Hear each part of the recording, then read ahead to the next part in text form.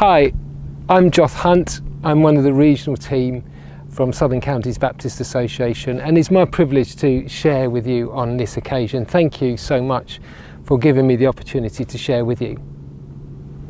Just recently I uh, went to Scotland. We went to Scotland on holiday and because of some of the complications I actually travelled with my son. We took my, my son's car.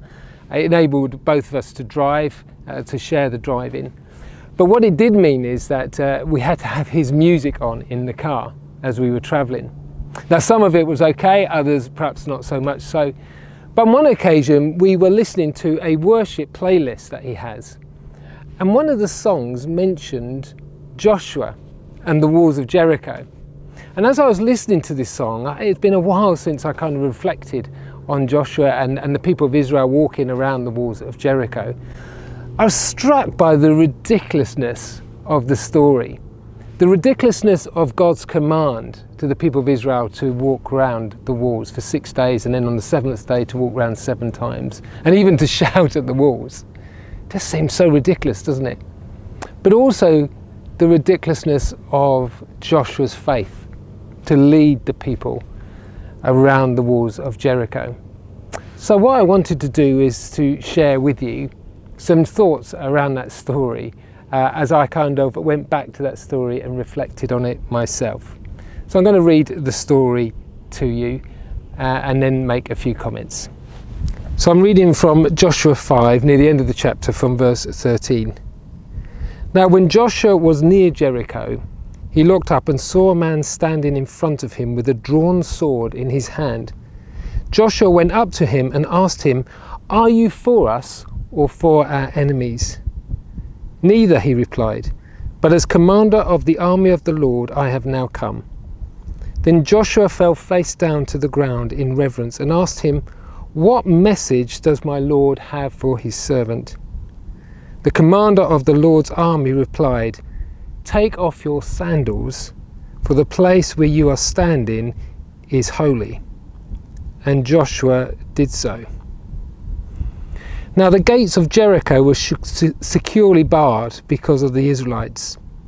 No one came out and no one came in. Then the Lord said to Joshua, See, I have delivered Jericho into your hands, along with its kings and its fighting men. March around the city once with all the armed men. Do this for six days. Have seven priests carry trumpets of ram's horns in front of the ark. On the seventh day, march around the city seven times, with the priests blowing the trumpets. And when you hear them sound a long blast on the trumpets, have the whole army give a loud shout, then the walls of the city will collapse and the army will go up, everyone straight in. So Joshua, son of Nun, called the priests and said to them, Take up the ark of the covenant of the Lord, and have seven priests carry trumpets in front of it and he ordered the army, advance, march around the city with an armed guard going ahead of the ark of the Lord. I'm going to end the reading there, but you can obviously read on in chapter 6 to read the rest of the story. But we know it quite well that the walls, of course, of Jericho come down.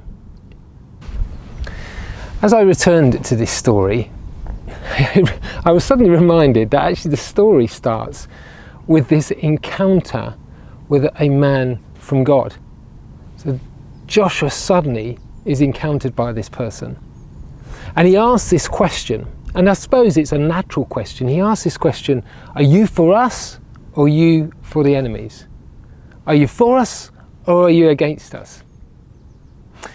I'm fascinated with that question, and I think it is a natural question because so often in our humanity we think of the them and us, and we become very polarized very, very quickly.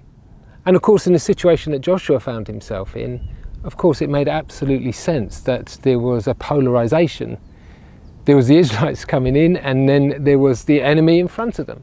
So it seems like a sensible and natural question. But what's more fascinating is the answer given by the man.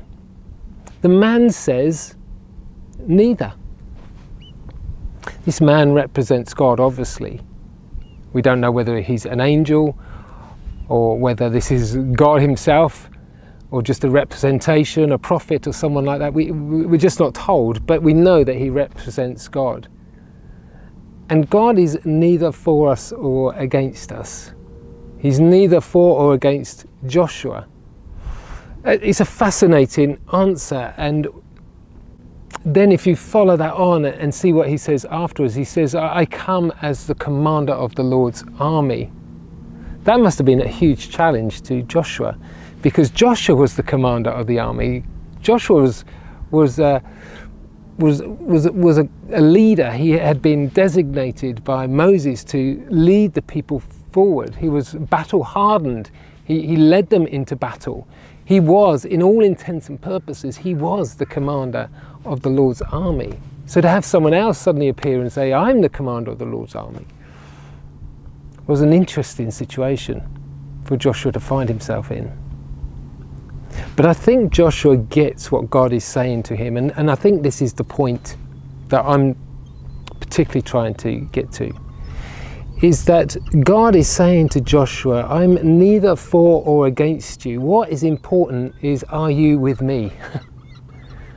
are you following the things that I am saying? I am the commander of the Lord's army. And are you with me?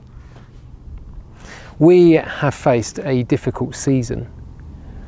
And it may feel like, you know, we have crossed the Jordan River of COVID and entering into a new land to some extent. Perhaps not quite in the same way as the people of Israel did, but certainly a new day is before us.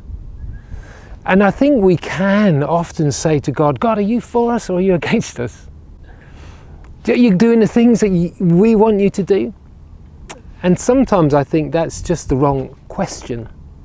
Perhaps the right question to be asking at these times is, Lord, what are you about? Because I want to be for you. I want to be following you. And this is what we discover with Joshua that he recognizes God is in this moment. And he falls to his knees and, and he says, yeah, I am your servant. What message have you got for your servant? And that's a great question. That's a better question for us to come before God and say to God, What message have you got for me? And the reply is this, and it's not actually a message at this point, because the reply is, You're on holy ground. ground. Take your shoes off when we've come before God sincerely in prayer and we say to Him, Lord, what's your plan? What's, what's your purpose? What's your message for us? We come to a place that is holy, a place that we need to recognize that is a place of God and a situation, a circumstance where we need to bow before God and humbly say to Him, I'm ready to receive whatever you have to say to me. Joshua did that. And I think we can learn from Joshua. God, speak into our lives. We're in a place that is holy. When you speak, this is a holy moment. I do wonder what our church meetings might look like if we recognize them to be more of a holy place when we gather, because that's what they are.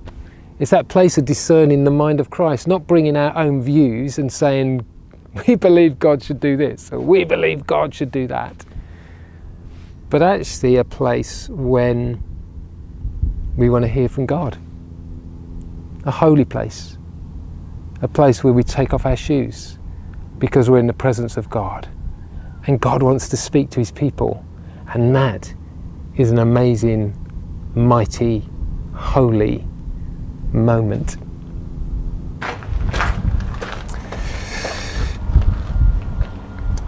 I love the way scripture is always clear and wants to emphasize, even in the detail of things.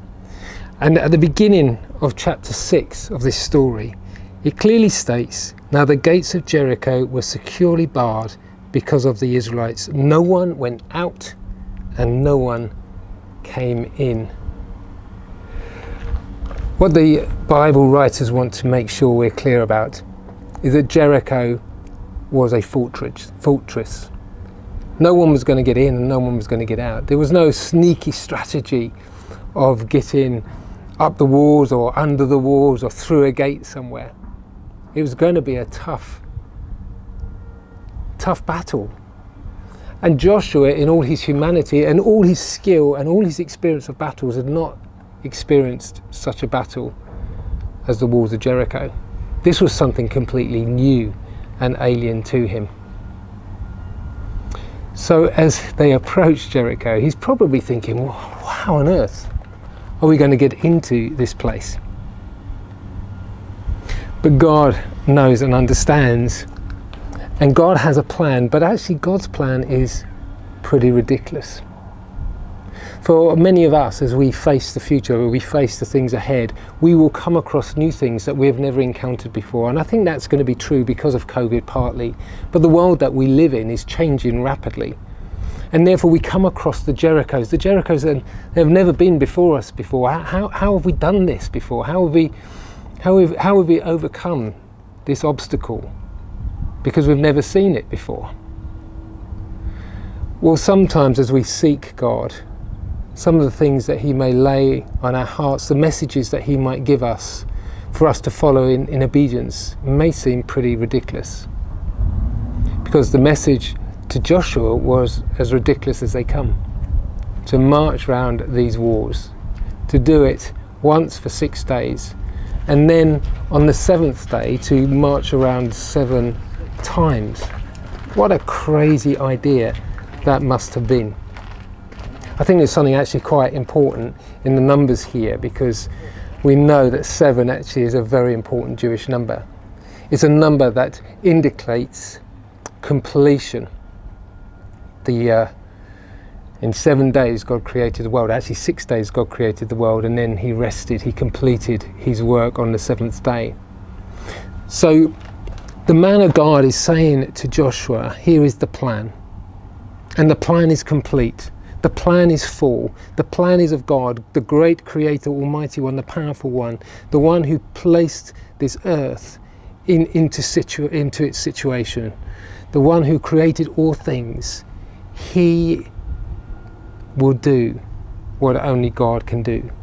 And what you need to do, Joshua, and what we need to do, is to understand his call, understand his plan, understand his message, and then, however ridiculous it might be, step into the path of following what He has called us to do.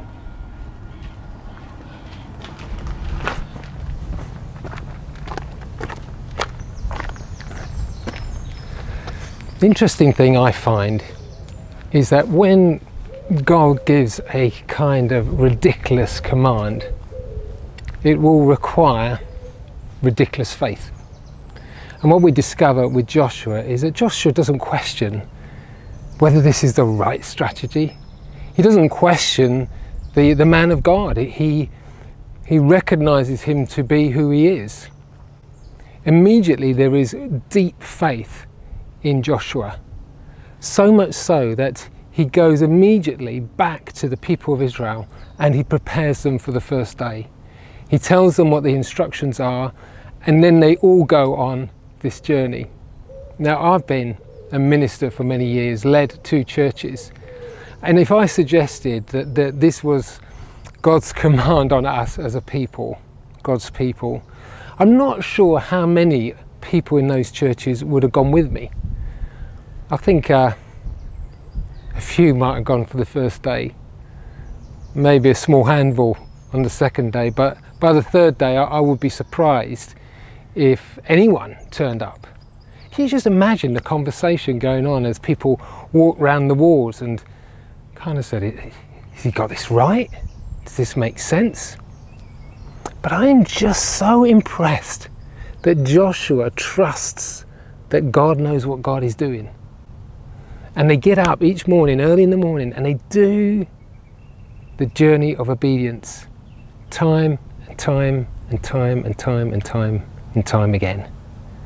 And then they get to the last day. And I don't know how large Jericho was. But to walk round those walls seven times in that day must have been, must have caused some people to wonder what on earth are we doing?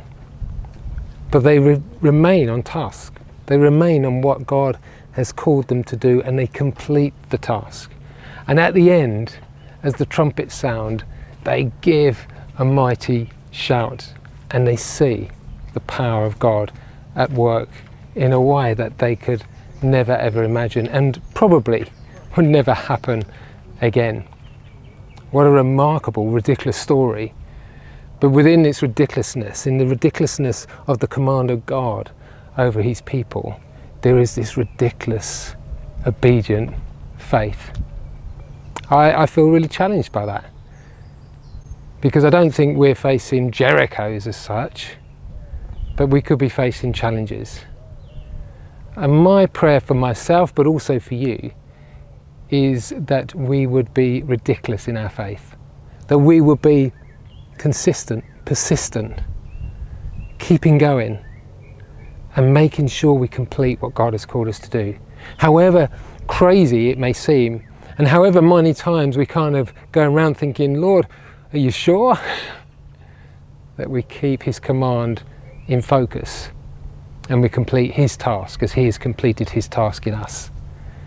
And we see the power of God at work. I don't know about you, but it certainly is a lesson for me that I've been learning during this COVID period. Forbearance is the word that I use. Patience is another word that can be used. But that sense of forbearance in faith, keeping my eyes fixed on Jesus, the commander of the army, and doing what Jesus wants me to do. And even though it feels like everything is out of control and things aren't happening, I will not take my eyes off the path and I'll keep going until he completes whatever God is going to complete in my life but also in the life of the church. So let me encourage you, however ridiculous the command, we are not asking God, are you for us or against us? But we're saying to God, God, we want to be for you. And we recognize that this is a place of holiness where you speak into our lives and we hold that holiness with great delicacy and care. And Lord, as you speak into our lives, however crazy it may seem, may we be ready to follow in ridiculous faith, to see the power of God at work. May the Lord strengthen you May He go with you, may He direct you, and however crazy the path may seem, may you step upon it, trust Him, and see His might at work in your life and the lives of others. The blessing of God be with you.